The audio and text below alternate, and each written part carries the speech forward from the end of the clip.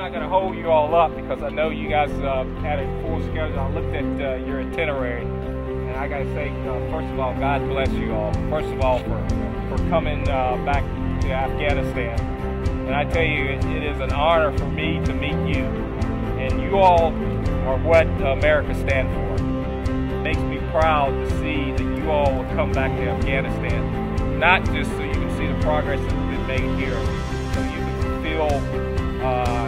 endeavors and looking at the progress and knowing that you made a difference on the ground.